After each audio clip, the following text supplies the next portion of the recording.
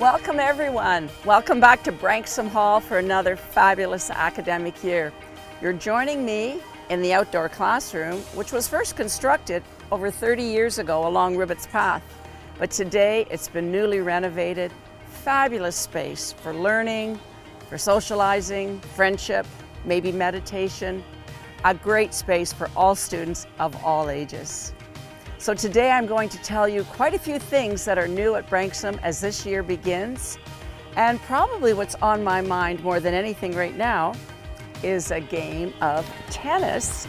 Let's head down to the brand new tennis courts. Just follow me.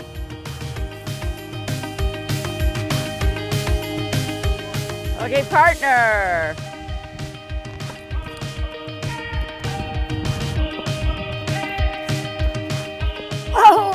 It!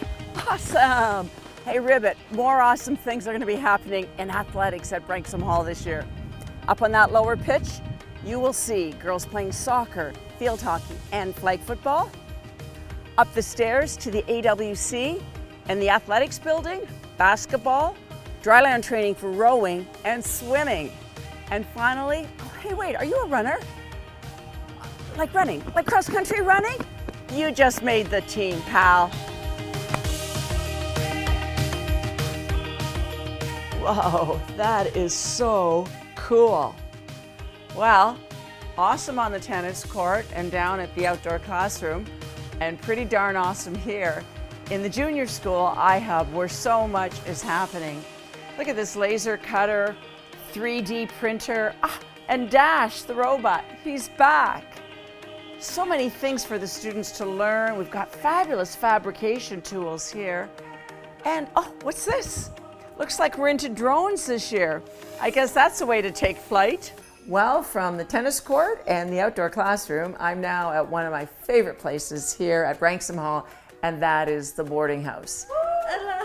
Here they are, five boarders all here to say hello. Uh, let's begin with the three of you on the couch.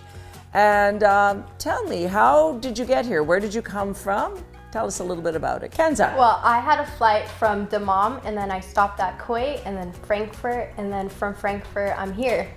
16 hours, I heard. Yeah, wow. it was really long.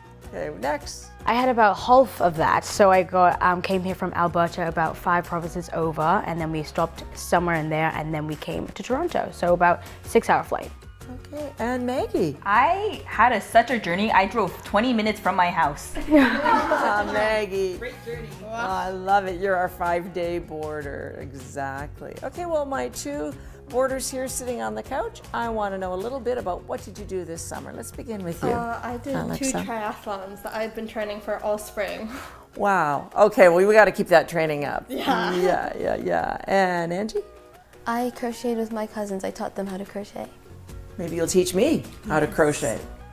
Well, listen, we're going to teach each other a lot of things this year, right? And you know my favorite saying, mm. boarding rocks. So it let's hear it for boarding. Woo! So I love what we've done on the junior school staircase this year, telling the story of our mission, our vision, our values, and so much more. I also think about the stories that I've shared with you today, and I want to thank the donors for supporting so many special projects and programs at Branksome Hall. And a final note, on September the 22nd, we are celebrating with a big welcome back barbecue and party for the whole community and the campaign kickoff for our Innovation Center and Studio Theater. See you there. Cut. How'd I do? Great. Okay, it's a wrap.